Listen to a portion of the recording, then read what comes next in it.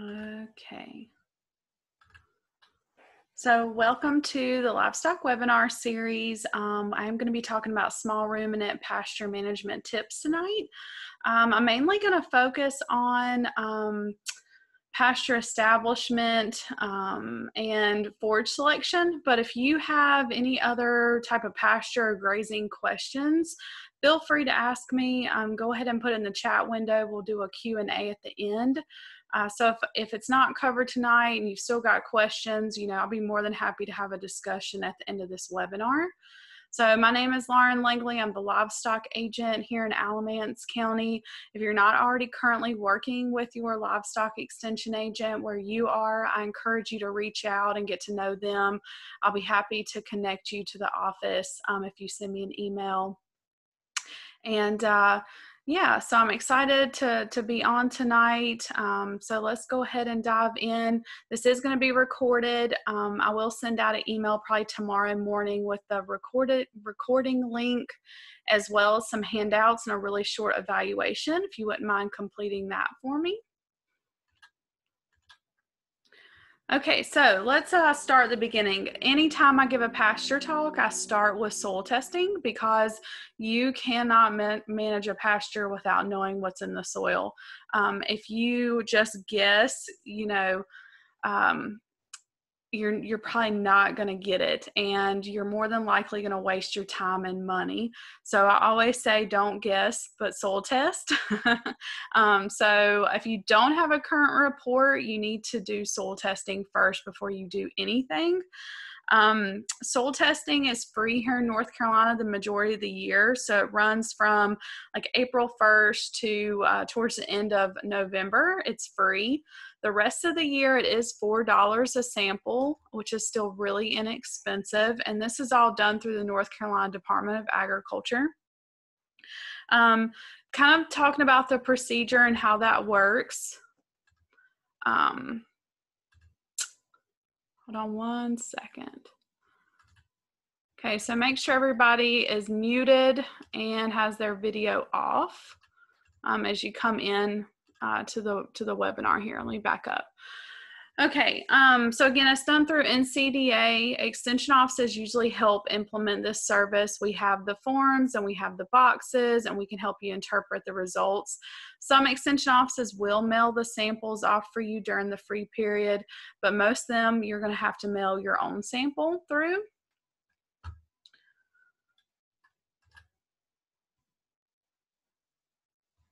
Okay, so somebody said that they cannot hear me.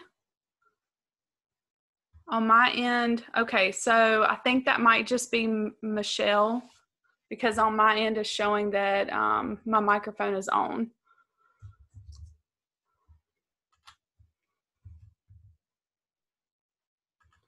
Okay, if y'all just hang on one second.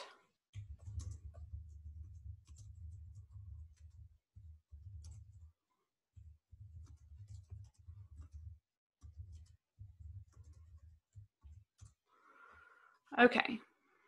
Um, okay, I'm sorry about that. That's the problem if I don't have a moderator. I've got to present and moderate, and so I apologize. There's probably going to be some breaks throughout. But anyways, um, if you haven't done this before, it's really, really easy to do. Um, you want to have a clean plastic bucket. You, of course, want to go ahead and get the form and the sample boxes from the extension office. If the extension office doesn't have a soil probe for you to check out, you can easily use a shovel or um, a trowel or something like that. It definitely helps if the soil has a little bit of moisture. Um, in the middle of summer, if it's dry, it's going to be really hard to pull soil samples. You really want to go four to six inches deep um, when you're doing these soil samples. So, what I always suggest is that you do a box per permanent pastured area. And no more than um, 10 acres at a time for a box because when you ever you go over 10 acres it's just so hard to represent that entire area. Um, so if you've got temporary fencing running everywhere I, again i would not try to soil sample every single little bitty sliver of land you have stripped up. I would do it off of the perimeter area because it's going to be much easier to manage and amend the soil with lime or fertilizer for that area. You want to zigzag around um, and take as many subsamples as you can stand. Obviously, the bigger the area, the more subsamples you need to take. I recommend at least one to two subsamples per acre that you're doing. Again, the more you do, the better because it'll represent that entire area. So you zigzag around, take samples four to six inches deep, which is uh, what's going to be available to that plant. So that's why the, um, we're saying four to six inches deep. Weigh on the side of six inches versus four if you can. Um, put it together in that clean plastic bucket, mix it up, and then you're going to pull a representative sample to fill your box. You fill to that red line on the box and make sure that the soil is not really wet. If it is really wet, you want to lay it out on a paper towel, let it dry before it goes in the box. Do not use plastic bags, tape, or anything on the box. They rip the top off, dump out the soil to test it, and then they um, recycle, and they don't want anything on those boxes. Um, for pastures, you want to soil sample every two to three years for hayland you want to probably do every year um, or i'd say every one to two years because you're trying to maximize production every single year and make as much hay as you can. With pastures you want to match your pasture needs to your grazing needs. If you don't need a whole lot of grazing then you do not want to add a lot of nitrogen for example and i'll get to that here in just a minute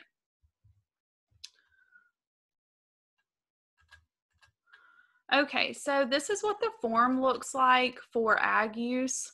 There is um, there is a form for lawn and gardens, so make sure you get the one that's for ag use because it's going to give you the recommendation per acre, not per square foot. And vice versa, if you want a lawn or garden sample, make sure that you get the one for square footage. Um, so whenever you complete this, you're going to put all your information up here at the top. Um, and then fill out some of this other information over here, like sample date, your county, the number of samples. Um, and if you have a farm ID, that's fine. If you don't, don't worry about it. And then down here, you want to give it a sample identification. I've lost my mouse. There we go. Sample identification. So it could be front, it could be back, it could be zero one. Make sure that you make a key for your farm because if you're doing 10 different pastures and you don't write down a key, it might be really hard for you to remember where things go when the results come back. The lime, um, if there's been lime applied within the past 12 months, that goes here. If not, leave it blank. First crop, second crop, this is really set up for field crops. So this is how you do it for pastures. First crop is what's growing there now, and the second crop is what you want to grow there. If it's the same thing, um, you put the same thing in both boxes. So if it's a fescue pasture, you want to remain a fescue pasture, you put it in both. Um, you put it in both boxes. So my chat window's lighting up. Um, okay. It looks like everybody can hear now. Okay, good. Um, all right, so let me go to the next one here. So this is what the back of the form looks like. This is where you pull the codes from. So on that on that front page, you know, you saw where it says code. Uh, you go to the back and it's got for forages and pastures. E stands for established. So this is important. If you are establishing a pasture from the ground up, from bare soil, your first crop is going to be um, whatever it is, comma E for established. Then your second crop will be whatever it is, comma M for maintenance. And then if it's an already established crop, um, you would do M for both of them if you're not changing the crop. Um, and most of our pastures here in Alamance County, the Piedmont area, are going to be in this um, fescue category. Uh, so most are going to be using the 055 code or 054. But if you are in Bermuda grass country, they've got codes for that, clover, sorghum, Sudan. Um, it kind of lumps it with is it a legume, is it a warm season, is it a cool season, and that sort of thing. And if you forget everything I've said, it's all in the back of this form how to complete it. Okay, so talking about interpreting your soil test report, um, the soil test uh, is only going to test for the major nutrients. It's going to do um, phosphorus and potassium, and it will do pH. It actually does not test for nitrogen because it leaches so quickly or it's taken up by the plant so quickly. Um, it gives you a base recommendation for nitrogen based on the crop that you list, but it will give you um, it will give you a phosphorus index. So it'll tell you the level of phosphorus in the soil and a potassium index, and it'll also give you a pH range, which is super important. The recommendations are based on field experiments conducted in North Carolina. Um, so everything is uh, is recommended for our soil and our um, land here in North Carolina. All right. So this is a soil test report um, so that you guys can like see an example of one. This is kind of a typical soil test report that I see where a pasture is active and has received chicken litter as fertilizer. Chicken litter is pretty common to um, come by. Well, I say that it's it's common here, but you might have a hard time getting some of it because it's like gold. Um, but a lot of pastures do receive it, so this is kind of um, a typical report if it's received chicken litter.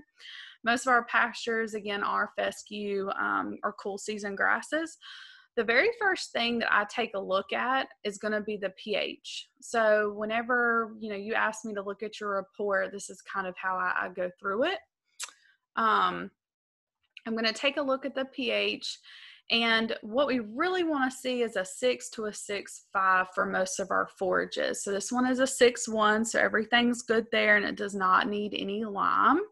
Um, and how you kind of read this report, here's the sample ID right here, zero one. Here's the recommendations. It's going to be nutrients pounds per acre and lime would be tons per acre right up here. And you can see that this um, report was for fescue M, and they had put it on both of the lines. Sometimes they record that and sometimes they don't, but um, nonetheless, so here's the baseline recommendation for nitrogen.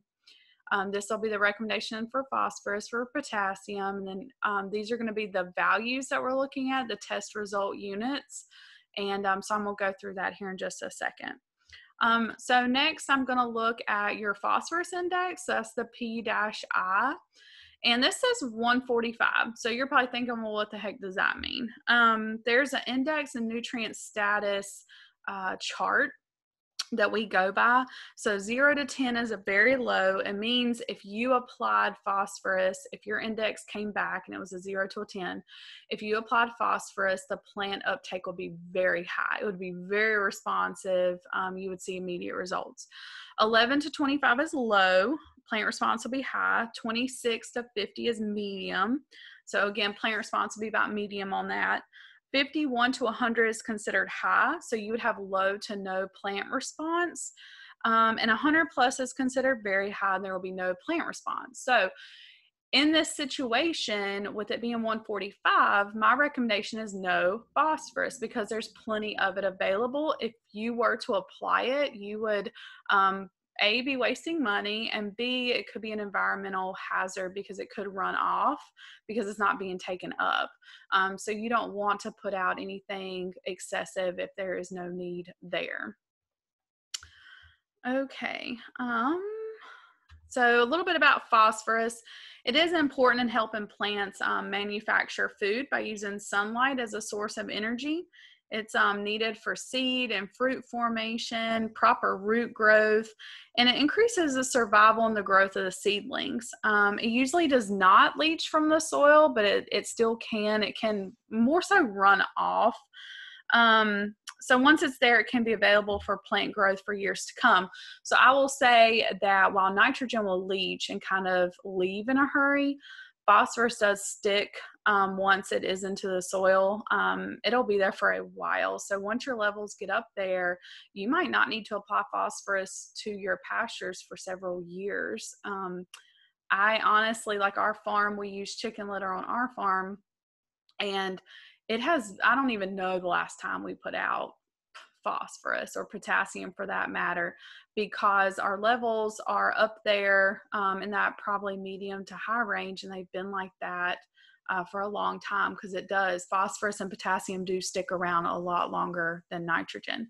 I will say that even though the soil test results do not test for um, nitrogen um, you have to know that there is nitrogen available in the soil because it is pulled and fixated from the air. So there is some available it's just they do not test for it to measure for it um, okay so the next thing i'm going to look at is the potassium index.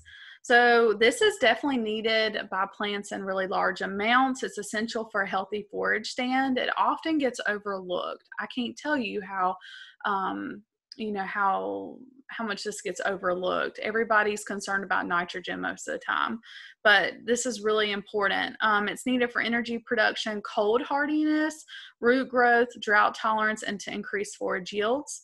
It also helps the plant fight off disease and encourages um, more efficient nitrogen use by the plants.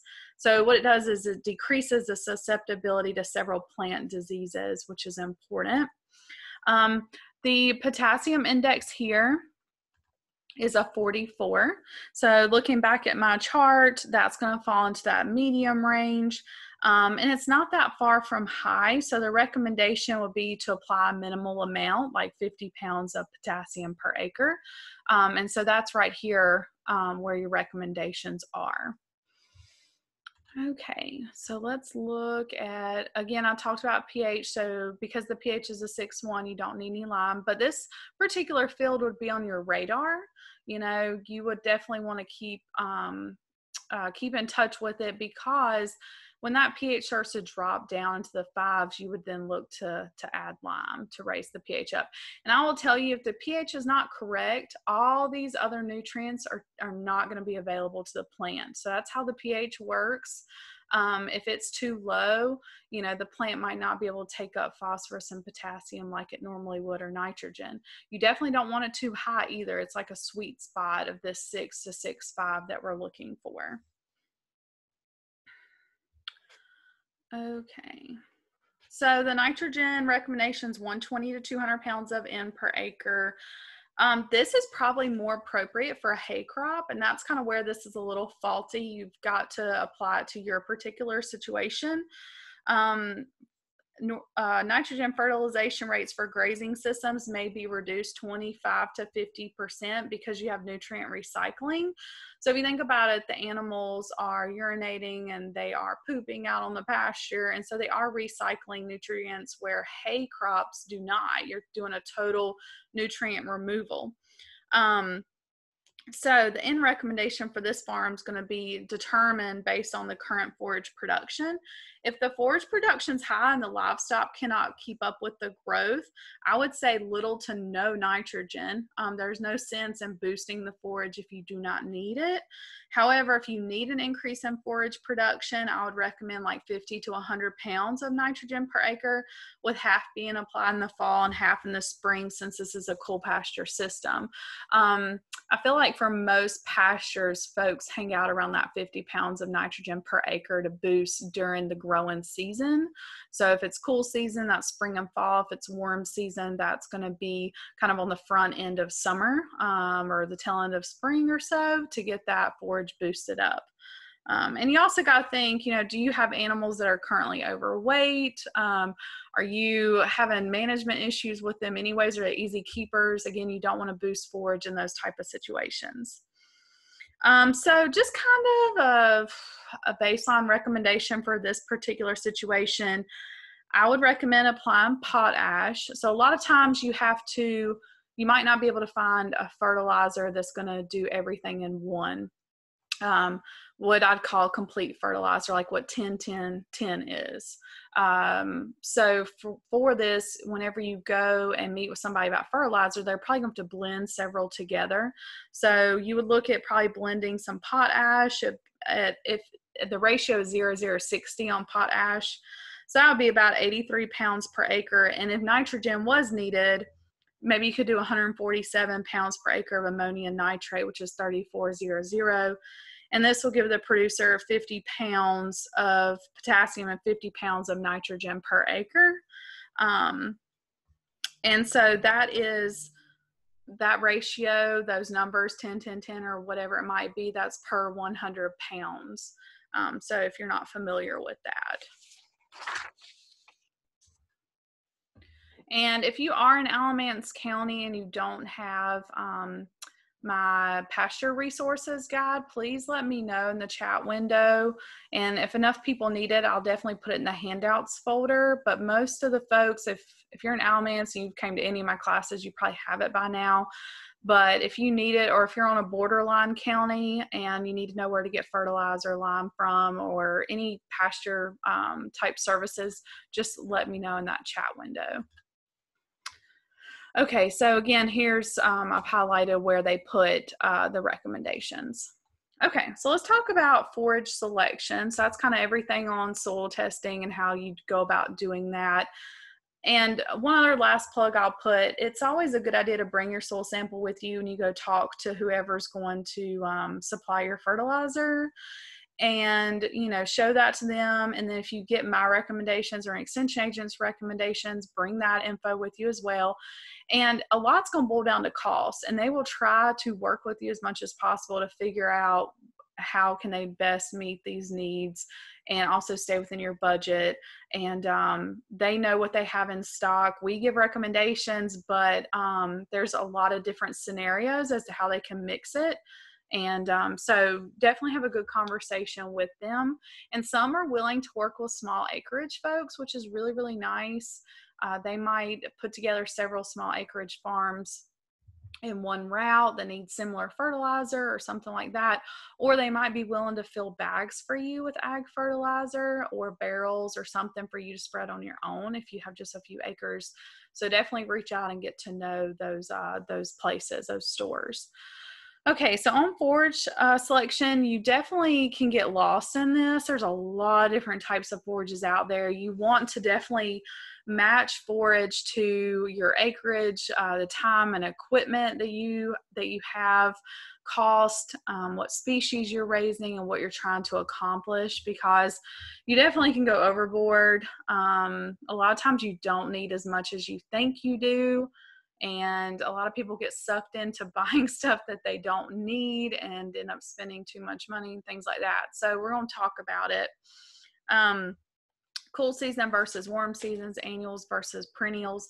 And if you're curious, um, my photo here is um, some goats grazing forage chicory, which is a perennial warm season.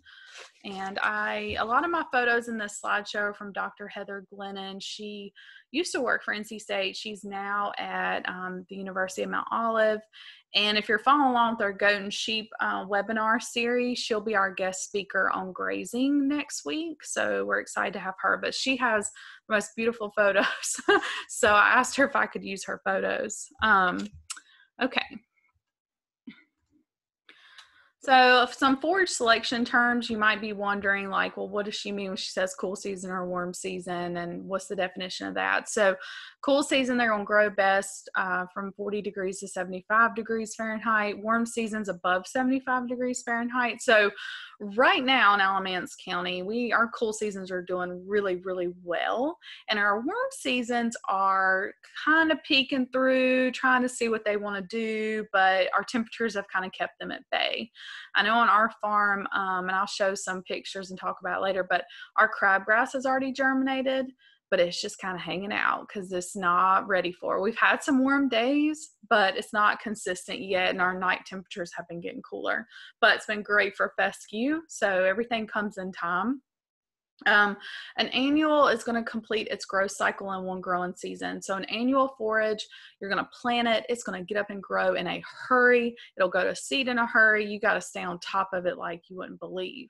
A perennial, and if I had a comparison, I would say an annual is like a sprint runner and a perennial is like a marathon runner. Um, a perennial is going to come back year after year. It's definitely, I think, the best bang for your buck on a lot of livestock systems.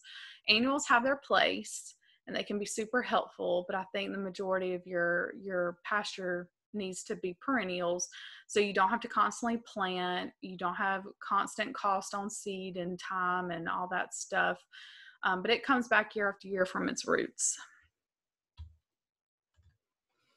So this is kind of the uh, growth pattern for cool season. So this is starting with February and ending with January, but it starts to peak and it is going, it's definitely like at its peak right now going into it, that April, May timeframe. And then um, it is going to slump something hard in the summertime. It's still living, like our fescue is still alive. Um, and then it'll do about half the production in the fall. And then again, it's still living in the winter time. So that's why it's so important not to leave animals on a fescue pasture over winter. when it's still alive but not really growing, they will eat it into the dirt. And then it has a super hard time coming up and growing in the spring. So stop grazing at three to four inches, pull them off, put them in a sacrifice or a dry lot. Feed them hay over the winter if you do not have a winter annual or stockpiled fescue to graze. Um, if you add in warm seasons on your farm, so I typically recommend like 75% of your farm in cool seasons here in Alamance County and 25% in warm season. I definitely think you get a lot of bang for your buck having mainly cool season here, um, mainly fescue, and then adding some warm season will give those animals a break and also give those pastures a break in the summertime. But it fills that summertime gap. As fescue is going down, your warm season, such as crabgrass, is going up and it fills that summer gap and animals can continue to thrive and gain and do really really well so when you combine them both you get kind of an optimal system. But if you are operating on really small acreage it can be hard to have dedicated um, acreage to both warm and cool season. And they really don't need to be mixed together per se. Um, the only one that could be is if you're doing Bermuda grass or something that goes dormant, it's a perennial goes dormant in the winter, like Bermuda grass, you can interseed a winter annual, but you cannot do a warm season perennial and a cool season perennial. Like you, I wouldn't recommend putting Bermuda grass and fescue because fescue's trying to live year round. That Bermuda grass is going to choke it out come the summertime and that's a problem so um, you would have dedicated space for each now there's certain compatible species that you can put in with them together and we'll talk about that um, we'll actually talk about on the next slide so you kind of see this isn't an exhaustive list by any means. This is kind of a more popular list, but your cool season grasses, your perennials are your tall fescue, orchard grass, bluegrass, perennial ryegrass. I would say that out of all these, you know, again, fescue, whether it's Kentucky 31 or novel endophyte fescue, it just does really well uh, here in the Piedmont area. Um, and orchard grass usually cannot withstand a lot of grazing. It has to be babied quite a bit. You'll see some volunteer and um, if you're a really good grazing manager, you could probably have it in your pastures planted, but it's a compatible species to tall fescue because they're both cool season perennials. You'll see volunteer bluegrass, volunteer ryegrass sometimes in your pastures um, as well. So most of the time, even if you have a fescue pasture, I can walk out there and I can probably find all of these species, even if you didn't plant them. So they do volunteer, they do come in and give some diversification to that pasture. Um, let's see. So as far as annual cool seasons, you've got ryegrass and you've got small grains like rye and wheat, oats, things like that. Um, when, when we talk about our warm season grasses, our perennials are Bermuda grass, Dallas grass, switchgrass, big blue stem, chicory. Um, Switchgrass and big bluestem are native warm seasons. They are really awesome, but really hard to get established. And so don't hang, get hung up on the word native. I don't really see them, you know, as uh, a volunteer native species around. And I think the main reason is they like to be really tall and you have to graze them very differently than what we're used to. And I think if when they come into most pastures, they're grazed out because we tend to let our animals graze um, a lot lower than those species like. When I say they like to be grazed tall, usually you don't start grazing them till they're probably 12 inches or more, and then you stop probably around eight inches Whereas with fescue, you start at six to eight inches and you stop at three to four. So you can kind of see how, you know, that it would just get selected out. But, you know, if you can go through the process of getting them established, which usually takes a couple years to do, they're definitely great to have for summer species.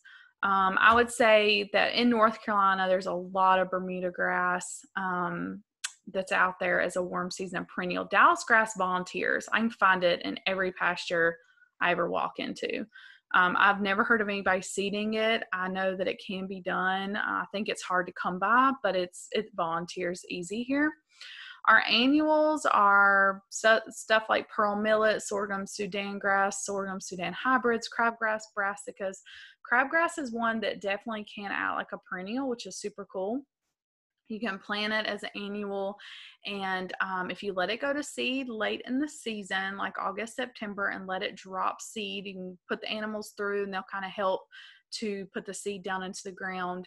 Um, and then you disturb the ground the following year, it usually comes back. So I've seeded a whole bunch of crabgrass, but I've also worked with it to see if it'll come back, and it, it does well in both situations. You can seed it because it doesn't take a lot of seed per acre, um, and you just do it for insurance, or you can try to get it to come back by letting it drop seed.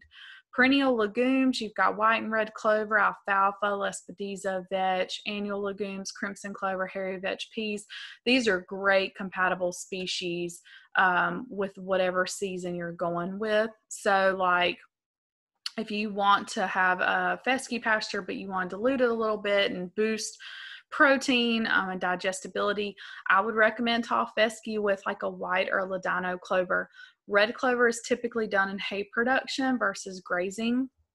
That white or that ladino clover usually does better for grazing.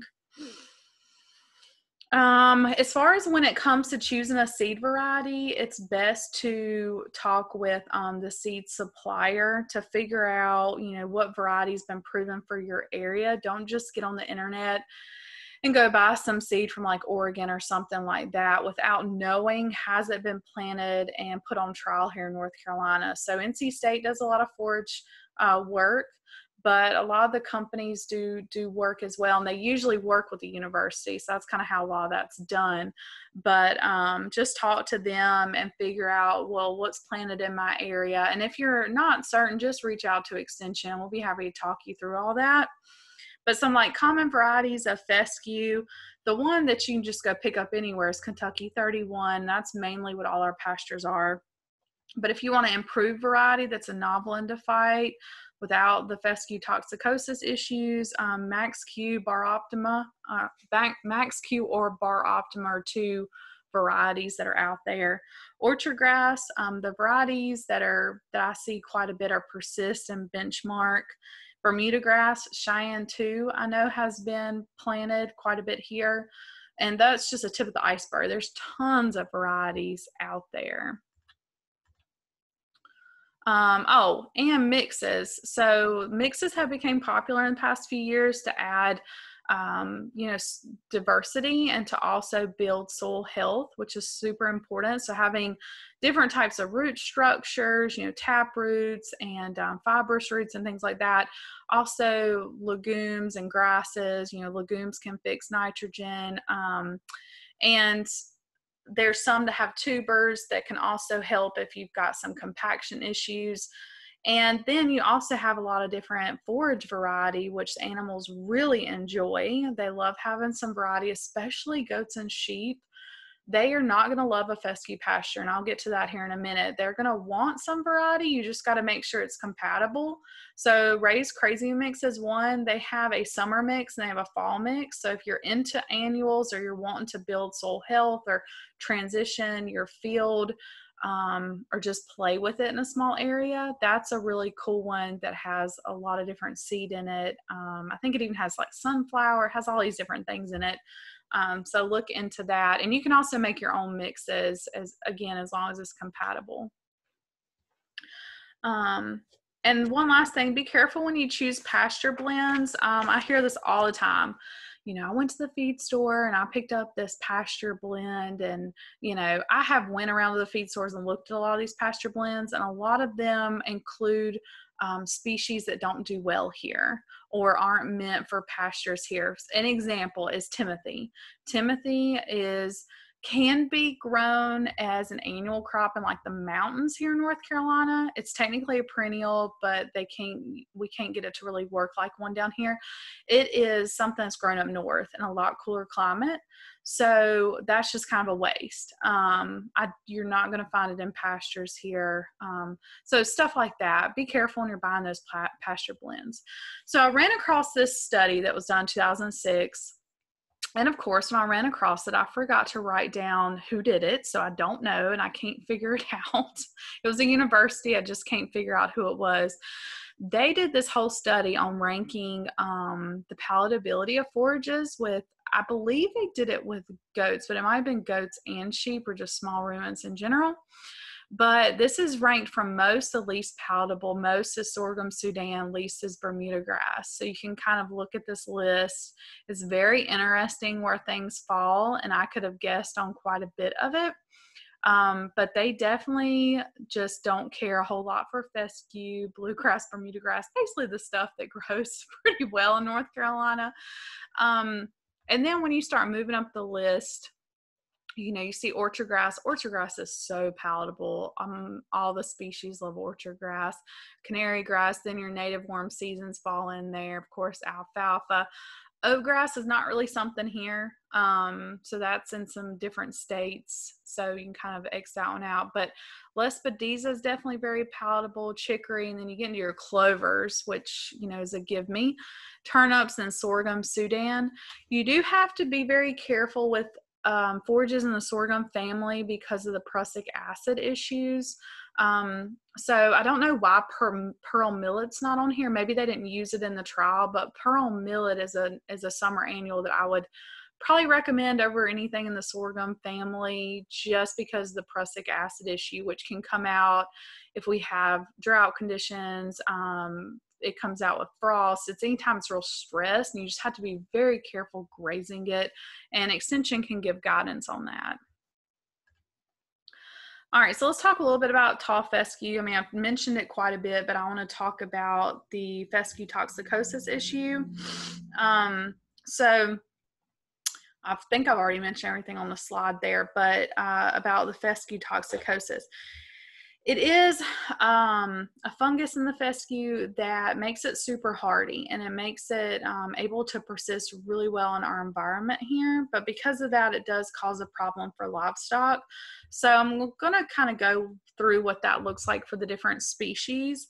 For cattle, I feel like it affects cattle and probably horses more than any other species. But cattle have poor weight gains on it, they'll produce less milk, they'll have a really high internal body temperature higher respiratory rate. Um, they'll retain a rough hair coat. They'll appear unthrifty, poor reproductive performance. It's so hard to breed cattle on fescue in the summertime. Let me, you know, in, in, in certain times of the year. So you can breed them on fescue in the fall, in the wintertime, early spring.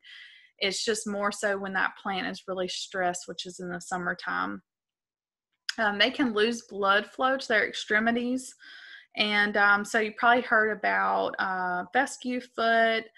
Um, you may have seen where tail switches will come off. Um, I actually had a producer call me saying that they were finding tail switches in their pasture. And I was like, oh my goodness, you know, I was thinking a predator or something like that. The more we got to talking, they had turned out their entire cow herd on a fescue field that had seeded out in the summertime because they got behind on mowing hay. And they were like, well, we don't want to waste it. We'll just turn the cows out.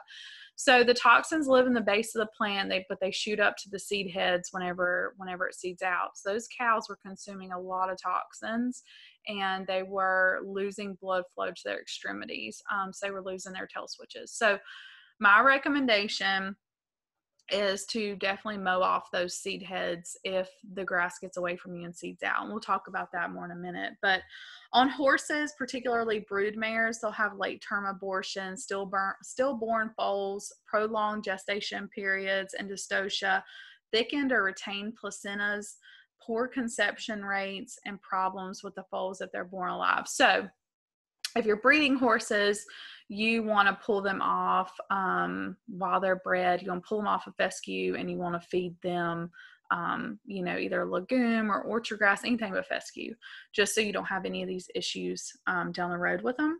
With sheep, what I have found is they appear to be less affected, but they're still prone to fescue foot, poor wool production. So if you're into wool breeds, um, that can be an issue. They can have reproductive problems and also poor weight gains um, be mindful if you're trying to grow out lambs in the summer that you're not going to be able to do that really well on fescue alone. Like you've got to have a game plan for some summer grazing. Goats, little's known about fescue toxicosis in goats. They're very selective um, and they will avoid fescue if at all possible, which, if you have goats, you know this about goats. They're so selective. Um, they also have the ability to uh, rapidly eliminate plant metabolic chemicals from their body. Um, and uh, it's been shown to have reduced weight gains. Um, that's been shown in research studies with goats. So, fescue's here to stay. And unless you want to make a good plan to switch over to novel endophyte fescue, which is so much easier to do if you're starting from bare ground versus a Kentucky 31 pasture trying to convert. But I, myself, or anybody extension can talk you through that. But how you can live with fescue if you already have it. Um, plant diversity, make sure that you have other compatible species, you know, add in clover or something like that. Uh, to just help diversify those species. Supplementation, you can supplement them, you know, with protein or energy um, while they're on fescue, and that will kind of help you supplement them with a different type of hay, and that will help. Mowing the pastures or seed head suppression. So there is a herbicide out there. Um, the chemical is metsulfuron it will actually, if you spray it, it'll keep the grass from seeding out. You just cannot do it year after year. You have to do it in rotation. But if you mow the seed heads off, this promotes the plant back to vegetative growth, which is really important. Uh, when the grass seeds out, it actually stops putting out leaf and it loses protein in a hurry. So if you clip the seed heads, it puts it back in a vegetative state and increases the nutritional value.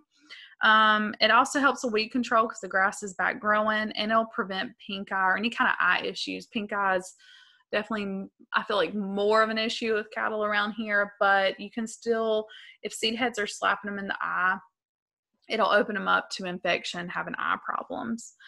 Uh, always provide minerals, free choice minerals on pasture, and water and shade. Water and shade will help with heat stress if they're experiencing that.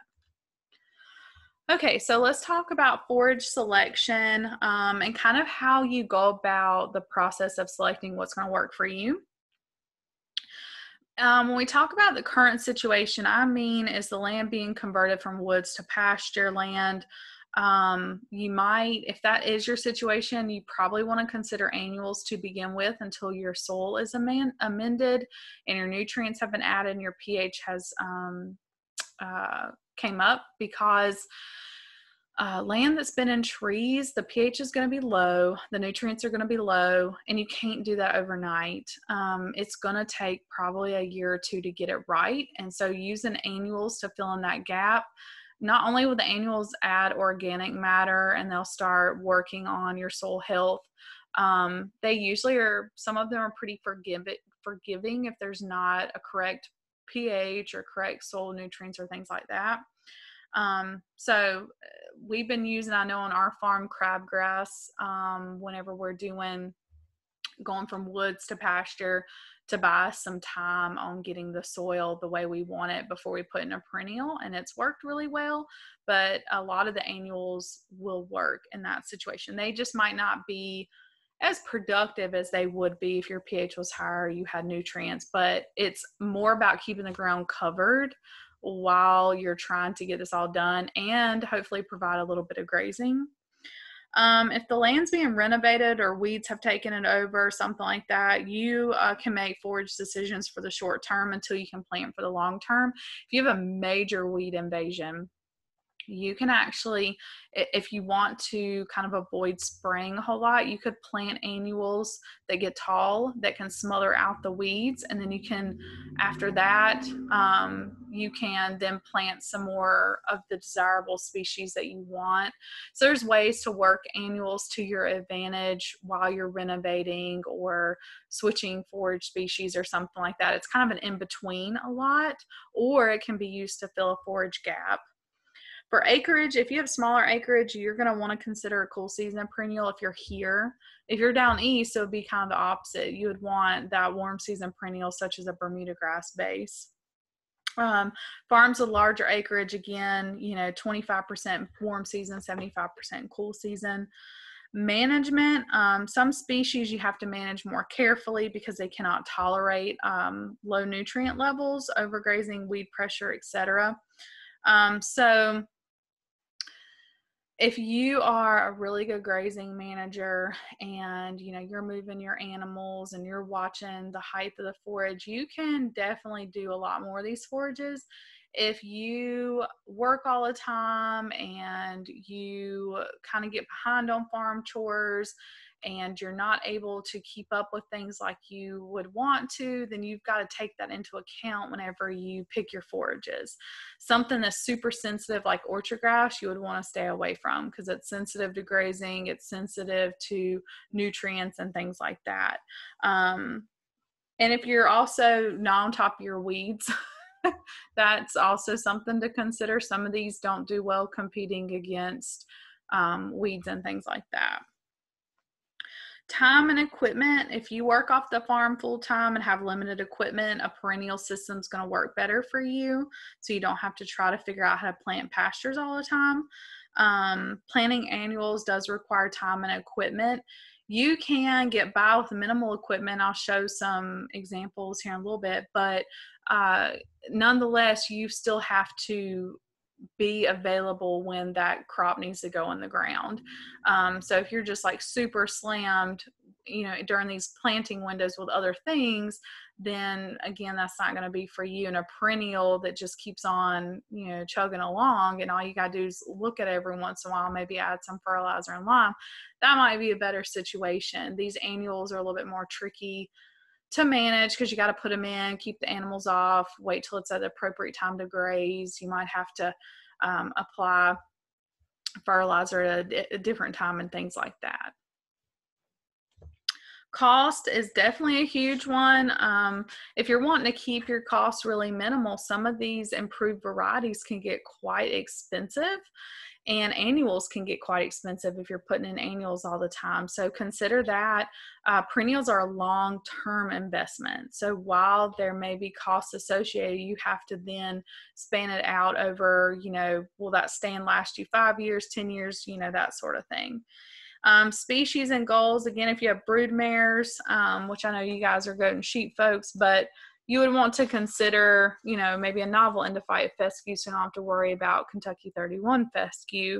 If you are, again, like finishing, grass finishing lambs or kids, um, and you're trying to do that in the summertime, if you're, you know, if they're being born in the spring and you're trying to finish them through the summer, you want to have a summer grass available for sure. Um, you don't want to try to do that on fescue. They're just not going to perform and gain as well.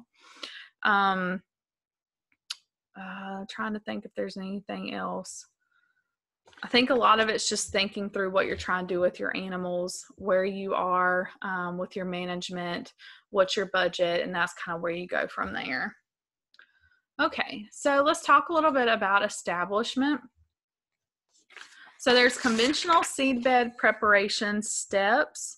Um, and this is uh, this is definitely one of those things that it's situation specific. I'm more than likely not going to tell you to to go out and plow an already established pasture. We'll try to figure it out while keeping the sod in place. But if you're going from trees to pasture, that's kind of where this conventional seed bed prep will usually come into play. Or if you've just got a major catastrophe and you need to kill off everything and start literally from the ground zero, meaning, you know, you've got to get rid of all your Kentucky 31 or you have weeds taking over everything, stuff like that. So step one is going to be to um, clear the land, clean up the land or spray the vegetation. Um, and so you will want to, um, with that step one, you would definitely want to graze or mow that grass really, really low before you start doing all this. Um, and then you would um, spray any regrowth with a non-selective herbicide such as glyphosate if you're wanting to kill off everything before you get started. So soil sampling is going to be very important so that you know your lime and fertilizer needs um, and to give yourself time to amend the soil and get it ready um, in order to plant. Step two is going to be liming. Um, so you want to inc- incorporate the lime as early as possible, ideally six to 12 months ahead of planting. It takes a long time to get down into the soil and to become available for the plant. Step three, you want to prepare the soil um, by plowing, disking, and then allow time for the soil to settle or use a cultipacker roller to firm the seedbed. This is so important. You definitely don't want the soil to be too fluffy. Um, it'll be hard for the seed to take root and grow in that situation. Um, and you want to incorporate fertilizer and any remaining lime in this stage. Lastly, the step four is to drill or broadcast the seed. So with um, open soil like that, you can do either method. Um, and it really depends on what you're seeding. Some seed is really small and um, you know might not do as well in a drill or might not do as well in um, you know a spreader. So you have to have to look at what you're trying to seed and what's the preferred method of seeding. If you broadcast you want to make sure that you increase your seeding rate because some of it will wash away some of it won't take that sort of thing. But you want to make sure it makes good seed to soil contact. So it definitely will in this situation. There's a lot of bare ground but you might need to go over it with a cultipacker to kind of mash it into the ground a little bit. Um, with the drill, you want to make sure you do not drill the seed too deep. You should be able to walk behind the drill for a lot of these grasses. They only need to go like a quarter um, to a half an inch in the ground. You should be able to walk behind it and find seed on the ground. If you don't, you might have planted too deep. So there's a footprint. When you walk across it after it's packed, uh, you really don't want your footprint any deeper than this right here. If it's if it's deeper than that, I know I've got a measurement. Yeah, boot tracks should be a quarter of an inch deep. So if it's deeper than that, your soil's too fluffy and you need to either let a good rainfall pack it or drag something over and pack it. For no-till prep, you're you're going to want to do the same thing in the beginning. Take your soil samples and make adjustments as needed. Mow or graze the grass close, or apply non-selective herbicide again, like glyphosate. Um, and then you're going to, uh, in that third step, you're going to drill your seed. And in some cases, you can broadcast if there's enough bare ground um, that'll have good seed to soil contact.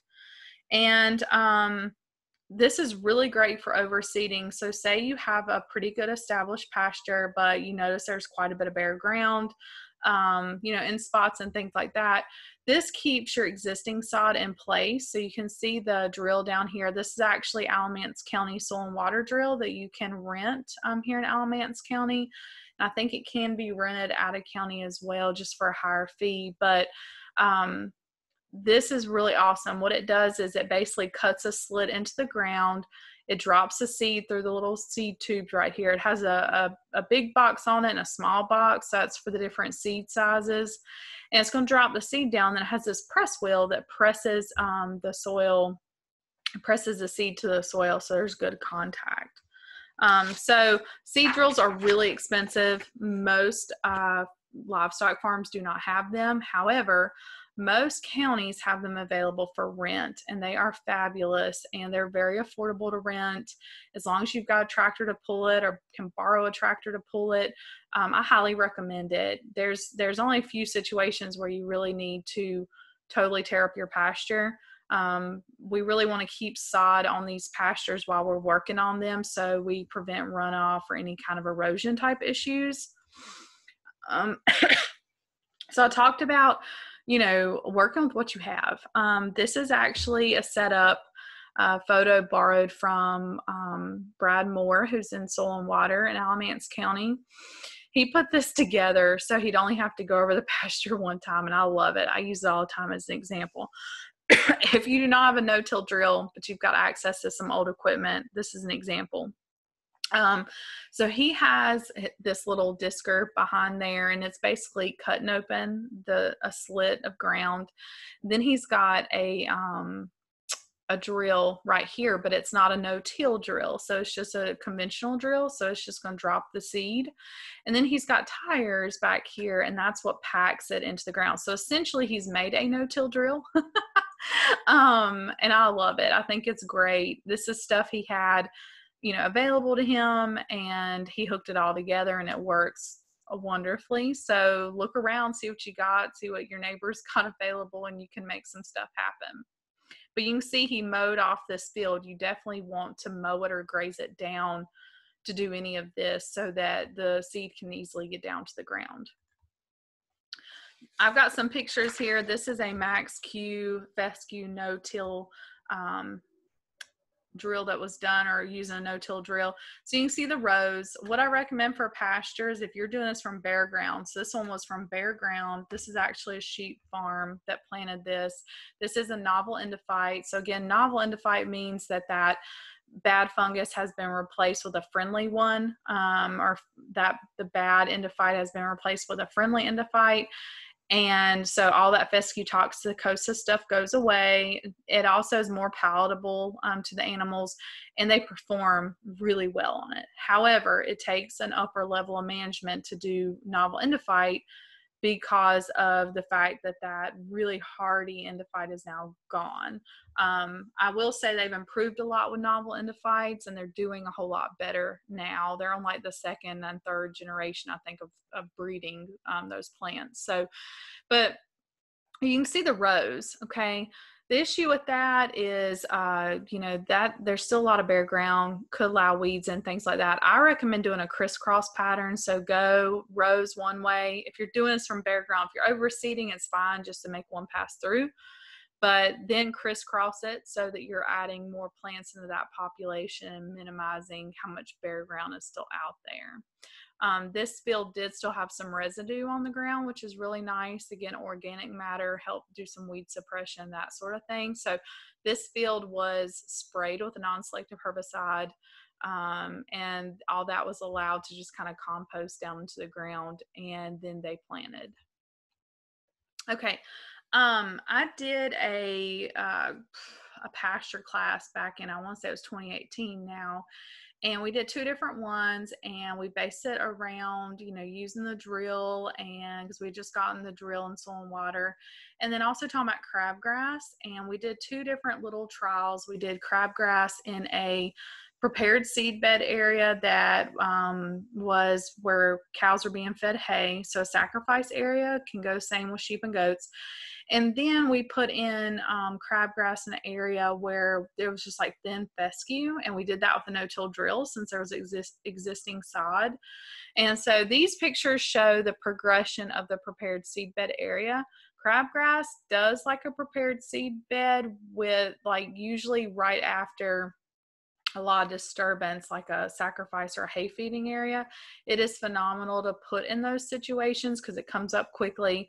It'll also provide grazing it'll compete with weeds. Um, i basically took a sacrifice lot on our farm that was just weed city. I mean had every weed in the book and by using crabgrass every single year it is now a super productive field even though it's still used as a sacrifice lot. We only spray it for buttercups and that's it. And it is now just really productive. It still has some fescue in it, but it's mainly comes back with crabgrass. Um, so here's that that blank slate after feeding hay. You can see where the crabgrass is coming up, and then this is what it looked like in August. So, I mean, it rolls pretty quickly. You usually can get two to three grazings out of it um, before it kind of seeds out and starts to play out in the fall. Um, and usually you want to plant crabgrass the end of April, beginning of May time frame. That's usually a good time to get it in. However, you can plant it much later than that. You're just not going to get as much grazing out of it. When you, a little bit about crabgrass for those that might be interested, um, and there are improved varieties of crabgrass. So I'm not talking about your front yard crabgrass. Um, there are improved varieties such as Quick-N-Big and Red River that's out there sold through our local seed companies but you can also purchase online um, as well. But check with those local companies first to see if that they can get it to save you on shipping. But um, because the seed is so light and fluffy and pretty small, and you only need like five to six pounds per acre in most situations, um, it's hard to put that small of amount out over an acre, and then it also doesn't sling very far. So what I recommend is, um, and it does broadcast really well. You just have to do this. You want to mix it with a pelleted lime. Um, I've heard some people mixing it with sand or other carrying agents pelleted lime works really well and it's super cheap and it also benefits the pasture a tiny bit so i'm all for it. But this is what it looks like um, mixing it together and, and putting that out on the pasture. It will go okay in the drill in that pasture workshop that i talked about here. It definitely did better broadcast on the prepared seed bed. It did come up with the no-till drill but it didn't do as well and some of that I feel like um, was just the situation we put it in. Um, but I don't know. I, have always broadcasted and had really good luck with that. This is some orchard grass and clover that was planted, I believe, for a hay crop. This is a summer annuals with a no-till drill. I think this was pearl millet. Um, so you can see that. That is some really good palatable stuff right there, especially for sheep and goats. Um, planting dates for common forages. So um, you definitely want to make sure that you do not try to plant fescue in the spring um, or any of our cool season perennials, fescue orchard grass, because it um, doesn't have time to grow the roots that it needs in order to make it through our hot, dry summers. So a lot of it will die. Um, so you want to make sure you wait till the fall. Hardly ever can we plant in August, so it's more like September, October. But you would plant in the fall and you would pull the animals from it and you know it'd have all winter to grow roots. It's barely going to grow any kind of top growth. It's going to work on growing roots. Again think about a marathon. It takes a long time. And by the spring you should be able to lightly graze it you know six months later but it's not going to be in full blown production probably for a whole year. So you got to keep that in mind when you're planning or renovating. Don't do all your pastures at once kind of rotate them so you are not having to dry a lot and feed animals throughout that whole time if you can. Uh, ryegrass, August 20 through October 31st. Small grains like oats, wheat, rye, August 20 through October 3rd. Again, rarely do we have the right temperature and soil moisture in August, so it's usually September, October. Summer annuals go in the ground about now. Um, so April 25th to June 30th you really want that's you want to be grazing in June. So I suggest you go on the front side or the early side um, once we start tracking with warmer temperatures. So we're like teetering right now and it's about to start happening. Bermuda grass will be April 1 to June 15th, and there are seeded varieties um, where you, I don't know how much y'all know about Bermuda grass, but you can sprig seed it or you can seed it by seed. And um, so there's two different ways to go about establishing that. And then clover is a little bit more flexible. You can do clover in the fall or you can do clover in what we call frost seeding um, time frame or on the later part of that window. And these dates are flexible. These are just kind of recommended dates. I'm, I'm going to put in y'all's handouts the planting guide from North Carolina if you haven't seen that before. And I'll link you to our Forages website from NC State with a lot of info on there too. So again, um, a new pasture, do not expect to get on it earlier than 12 months if it's a perennial. Okay, annuals is a whole different ball game. Annuals are meant to graze quick, um, you know, and that sort of thing. But on these perennials, um, I would say 12 months if it's a bare bones deal overseeding. Um, so if you already have sod out there and you're overseeding, you can get back on it in six months. And then 12 months will be when those plants mature. You can lightly graze at the six month mark if you're very, very careful and you're a good manager. Um, but in most situations, you know, I would just like mow it and baby it because you want it for the long haul. Um, especially if you do have some horses on your farm, they will pull stuff up by the roots. So you just have to be careful what species you do have. Goats and sheep and ruminants in general, um, the th- cows are probably the most gentle on grass, but goats and sheep have lips and they can definitely be very selective and they can do a little bit of damage on a pasture. So you've got to be careful. Um, okay top five causes of stand loss that I see. Poor fertilization practices, so not soil sampling, just doing whatever, um, not paying attention to potassium or things like that. Low soil pH, just not paying attention to it, you know, not um, soil sampling, so you don't know what your pH is, you're not adding lime. If you've got broom sedge out in your pasture, that's an indicator species that either you have a low pH and or uh, low phosphorus. So there are some species, and I'll walk out in a pasture if I see them and you don't have a soil sample, I can almost guarantee you that something's going on like that, and nothing will eat that, and you have to amend your soil to get that to go away. Um, frequent overgrazing or scalping with the mower. I can't tell you how many times I go to farms where they have front pastures, they want to look pretty, so they mow them with a lawnmower. It's definitely not our goal with pastures. You want that forage maintained at a higher um, level and you don't want to mow it like a pasture because what you're seeing on the top is what's going on underneath. So if you're constantly mowing it to two to three inches, that also mimics what overgrazing would do and the roots are only two to three inches long so they're not going to withstand much and they're going to eventually go away so the name of the game is especially in these um, depending on what you have but let's just do cool seasons for example for fescue, you want to start grazing at six to eight inches. And you want to stop at three to four. Rotate, get them off, let the grass rest, let it come back, and then you go back on it again. That allows it to have enough leaf to photosynthesize, um, to, to continue to grow good roots, and to continue to persist and be a productive pasture for you lack of topsoil uh, rooting depth. So, you know, again, if you're inheriting a field um, that has a lot of compaction or something like that, you might want to look to use some annuals to help break up compaction, to build some organic matter. Uh, think about soil health. We got to feed what's in the ground before it's going to feed our forages, before it's going to feed our animals. So we're really soil grass managers before we're livestock producers. Um, and weed pressure is huge. So luckily with goats and sheep, sheep really like broadleaves, goats really like browse. And so they both kind of have their good qualities. Sheep do graze a little bit better than goats, but it depends on what you have out there. Um, goats can graze really well too. But luckily, they will go after some of this other stuff um, that's pretty palatable that we consider weeds. So you shouldn't have a ton of weed pressure if you've got goats and sheep around. And with that, I'm going to open it up to questions. So let me go to the chat window and see if we got any questions in here.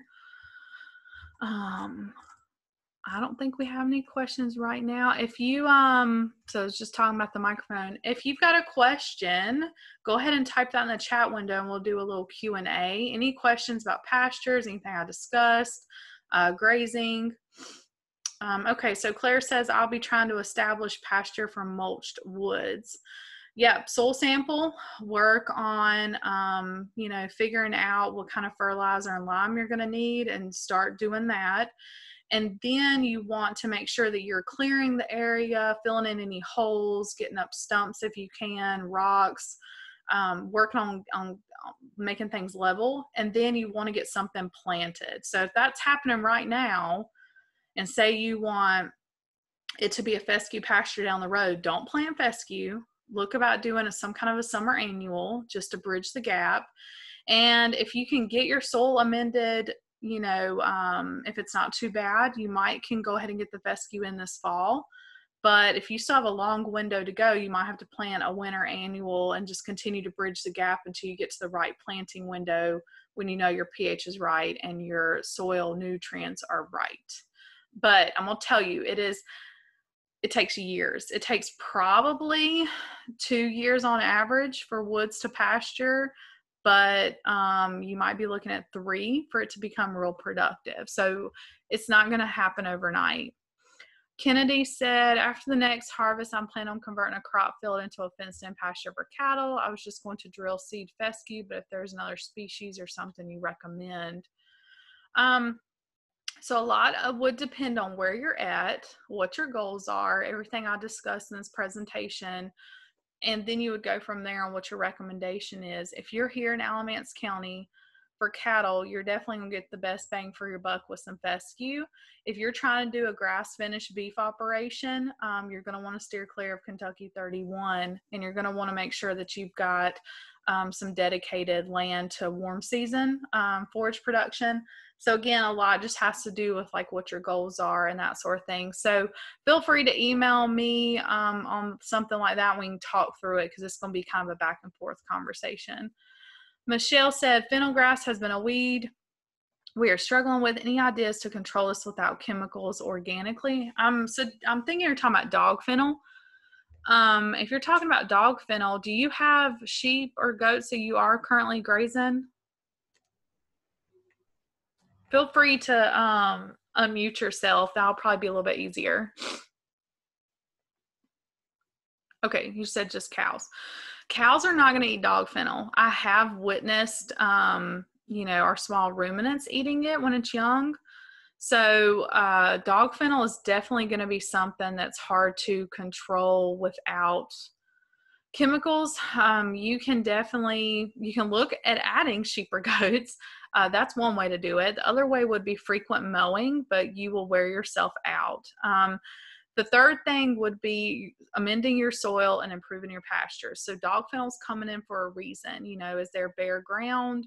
Um, is your is your grass being overgrazed? Is it a weakened stand? So if you focus on managing your grass and uh, making sure there's no uh, bare soil and things like that, that'll also help keep the weeds back. Um, so hopefully that helps. If you still have questions about that, you know, feel free to, to ask me some more questions.